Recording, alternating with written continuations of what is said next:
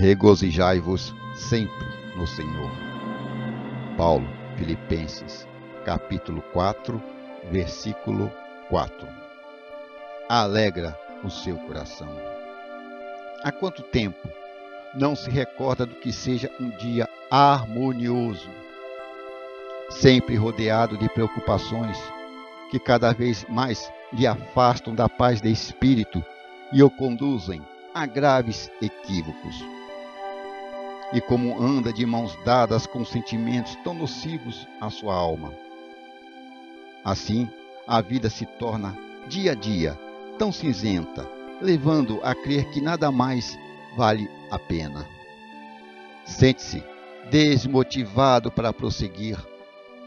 Cabisbaixo, enxerga o futuro sempre receoso. Ei, há quanto tempo afastado de Jesus? Mas ele não se afastou de você. Manteve-se por perto todos os dias. Sim, na alvorada de cada amanhecer, lá está o Mestre, disposto a lhe restituir a determinação, a vontade de perseverar e, acima de tudo, a alegria de viver. A vida não é só adversidade e melancolia, mas se permanecer de coração amargurado, será apenas isso que encontrará.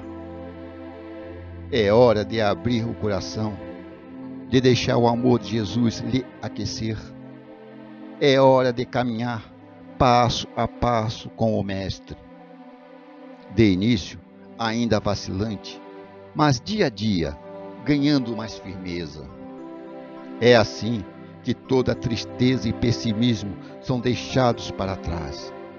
Jesus lhe aguarda e quer lhe conduzir a um novo e redentor horizonte. Alegria, que assim seja, graças a Deus e muito obrigado, Senhor.